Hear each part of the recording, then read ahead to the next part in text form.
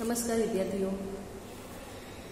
અગાઉના લેક્ચરમાં આપણે બાબરના, બાબાની, બાબરની પ્રસ્તાવના જોયા બાદ ઉત્તર ભારતના રાજ્યો, મધ્ય ભારતના રાજ્યો અને દક્ષિણ ભારતના રાજ્યો વિશેની ચર્ચા કરી અને દક્ષિણ ભારતના રાજ્યોમાં છેલ્લું રાજ્ય જોયું, બહમની રાજ્ય.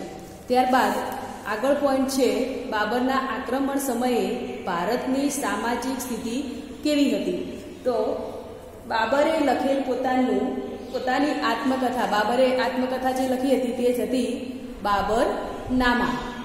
તો બાબરે લખેલી પોતાની આત્મકથા બાબર નામામાંથી ભારતની રાજકીય સ્થિતિ સાથે સામાજિક સ્થિતિનો પણ ખ્યાલ આવે છે. બાબરનામા જે છે, એ બાબરનામામાં ભારતની રાજકીય સ્થિતિ અને સામાજિક સ્થિતિનો ઉલ્લેખ કરવામાં આવ્યો છે. તેના, તેમાં રાજકીય સ્થિતિની સાથે સામાજિક સ્થિતિનો પણ ખ્યાલ આવે છે. જો કે બાબર એક વિજેતાના રૂપમાં ભારતમાં જે કંઈ જોયું, તેનો અહેવાલ તેણે આપ્યો હતો. પરિણામે તેના લખાણમાં, ભારત અને તેની પ્રજા વિશેનું એક ચિત્ર જોવા મળે છે. તેના આક્રમણ સમયે ભારતની સામાજિક સ્થિતિનું વર્ણન તેણે નીચે પ્રમાણે કર્યું છે કે જે વખતે એણે ભારત ઉપર આક્રમણ કર્યું તે સમયે ભારતની સામાજિક સ્થિતિ કેવી રાજકીય સ્થિતિ તો આપણે જોઈ કે રાજકીય સ્થિતિની અંદર જે રાજ્યો હતા, એ રાજ્યો અલગ અલગ વિભાગોમાં વહેંચાયેલા હતા. અંદર કુસંગનું વાતાવરણ છવાયેલું હતું, એટલે કે એ રાજકીય એકતાનો અભાવ હતો. હવે સામાજિક સ્થિતિ પર નજર કરીએ તો બાબરના આક્રમણ સમયની જે સામાજિક સ્થિતિ છે, એ સામાજિક સ્થિતિ પર બાબર શું કહે છે?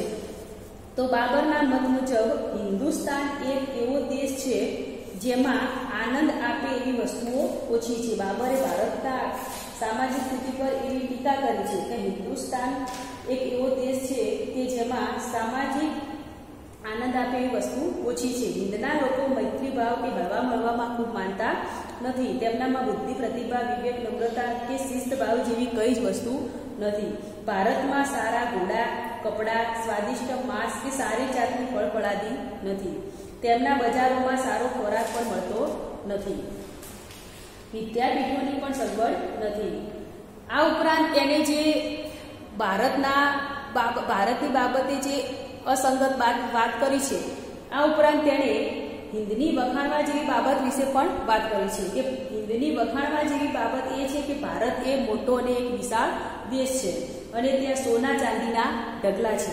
ચોમાસામાં ત્યાંની આબોહવા સોહામણી બની જાય છે. કેટલીક વખત તો ભયાનક વરસાદ વરસાદની સ્થિતિને કારણે નદીઓમાં પૂર પણ આવે છે તેવી પરિસ્થિતિ થાય છે. ચોમાસામાં હવામાનવાળા ભેજ હવામાન વાળા વાતાવરણને કારણે તીરકાંઠા બખ્તર અને પુસ્તકો જે છે એ નકામા બની જાય છે. એવી વાત બાબરે ભારતની સામાજિક સ્થિતિ વિશે કરી છે કે, એ સમય સામાજિક સ્થિતિ કેવી હતી? ત્યારબાદ તેણે આ વિશેની જે વાત છે, એ દેશ અને પ્રજા વિશેના અભિપ્રાયો પરથી આપી છે કે ભારત દેશ અને પ્રજા વિશેના એના પોતાના મંતવ્યો કેવા છે, એના વિશેની એને રજૂઆત કરી છે. ત્યારબાદ બીજો પોઈન્ટ છે, સમાજ. તો બાબરના આક્રમણ સમયે ભારતનો સમાજ એ મુસ્લિમ અને હિન્દુ, મુસ્લિમ અને હિન્દુ એમ બે રાજ્યોમાં આપણે આગળ પણ જોયું, એવા બે રાજ્યોમાં વહેંચાયેલો હતો. મુસ્લિમોનું મુસ્લિમોનું જે રાજ્ય છે, એ મુસ્લિમોનું રાજ્યના પણ બે અલગ અલગ વિભાગો હતા. તેમાં વિદેશી મુસ્લિમો વિદેશી મુસ્લિમો અને પઠાણી મુસ્લિમો, એવા બે મુસ્લિમો અસ્તિત્વ ધરાવતા હતા. એટલે કે તુર્ક અફઘાનો, પઠાણી એટલે કે તુર્ક અફઘાનો. તેઓ વિદેશીઓ હતા અને રાજકારણમાં સારું વર્ચસ્વ ધરાવતા હતા. રાજ્યમાં તેઓ ઊંચા હોદ્દા ધરાવતા હતા. પઠાણી મુસ્લિમો છે એ મુસ્લિમો રાજ્યની અંદર વધારે, ઊંચા હોદ્દા ધરાવતા હતા. તેમનું જીવન વૈભવી હતું. સમાજ વધુ પ્રમાણમાં રૂઢિચુસ્ત હતો. બાબર શું કહે છે? બાબર કહે છે કે ભારત દેશની અંદર જે સમાજ છે, એ સમાજ એ રૂઢિચુસ્તવાદી સમાજ હતો. વર્ગ વ્યવસ્થા પણ સારી હતી. હિન્દુ સમાજ જ્ઞાતિ અને પેટા જ્ઞાતિમાં વહેંચાઈ ગયેલો હતો. સમાજમાં બ્રાહ્મણ વર્ગનું ખૂબ પ્રભુત્વ હતું. તેઓ પ્રજાની માનતા હિન્દુ સમાજમાં સ્ત્રીઓની સ્થિતિ ભયજનક હતી. સ્ત્રીઓની સ્વતંત્રતા ઉપર અનેક અંકુશો એ સમયે મૂકેલા હતા. ઉચ્ચ વર્ગની સ્ત્રીઓના ઉચ્ચ વર્ગની જે સ્ત્રીઓ છે, એ સમયે હિન્દુ સમાજમાં ઉચ્ચ વર્ગની સ્ત્રીઓમાં પણ પડદા પ્રથા પડદા પ્રથા પ્રચલિત હતી. બાળ લગ્ન અને સતી પ્રથાનો રિવાજ પણ પ્રચલિત હતો. સ્ત્રીઓમાં, એટલે કે સ્ત્રીઓનું શિક્ષણ જે છે, એ સમયે હિન્દુ સ્ત્રીઓનું શિક્ષણ પણ નહિવત હતું. એવું બાબરે તેની આત્મકથાની અંદર પ્રકાશ પાડેલો છે. ત્યારબાદ નેક્સ્ટ પોઈન્ટ છે, ખોરાક, પહેરવેશ અને ઉદ્યોગ ધંધા. આ સમયે ભારતમાં ખોરાક કે અનાજની કોઈ તંગી ન હતી.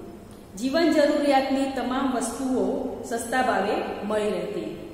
લોકો જાડા અને પહેરવેશમાં જોઈએ તો એ સમયે લોકો જાડા અને સુતરાઉ કાપડ પહેરતા હતા. બાબર લખે છે કે ખેડૂતો અને અન્ય પુરુષો સ્ત્રીઓ એક જ કપડાથી શરીરને ઢાંકતા હતા.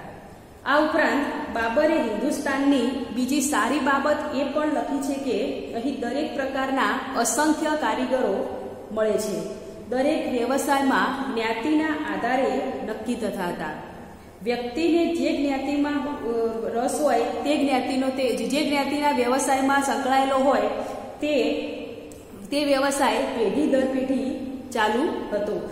જેમ કે, કુંભારનો છોકરો હોય તો એ કુંભારી કામ કરે, સુથારનો છોકરો હોય તો એ સુથારી કામ કરે, સોનીનો છોકરો હોય તો એ સોની કામ કરે. તો એવી રીતે ખોરાક, પહેરવેશ અને ઉદ્યોગ ધંધા વિશે બાબરે આ રીતની વાત કરેલી છે. હવે પ્રશ્નના મૂળ અંતિમ સમય પર આપણે જઈએ તો છેલ્લું છે સમાપન.